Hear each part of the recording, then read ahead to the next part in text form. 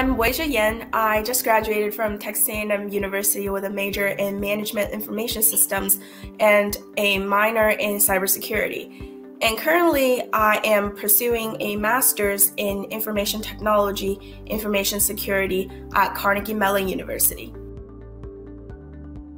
In middle school, I randomly browsed a video that talks about like ethical hacking.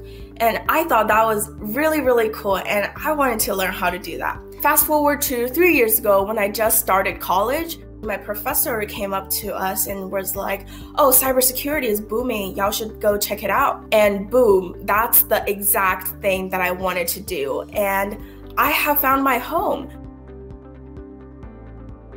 When I first walked into my university's cybersecurity club, I saw a room full of 100 people with only three women. I was a little intimidated and but in my head was telling myself, "Hey, this is what you want to do, pursue as a career, so don't give up." So I went ahead and sat with other two girls.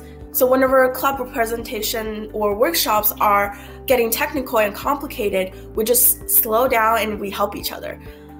And part of me really enjoys this camaraderie, but another part of me was like, this is not okay. Cybersecurity is so fun and so interesting. Why can't we have more women? We should have more women. It was definitely conferences. The first InfoSec conference I went to was a local B-Sides. It was such a tight knit community. Everybody seems to know each other and welcoming newcomers. Check out your own school's cybersecurity club. In that community, you already got your first foot in the door. From that community, I found so many people I can ask my questions to. I also found my CTF's buddy buddies there. Apply for internships as soon as possible. Sometimes it's the connection that you make in the industry that will take you uh, introduce you to the next internship positions or even eventually uh, jobs out there, uh, full time jobs out there.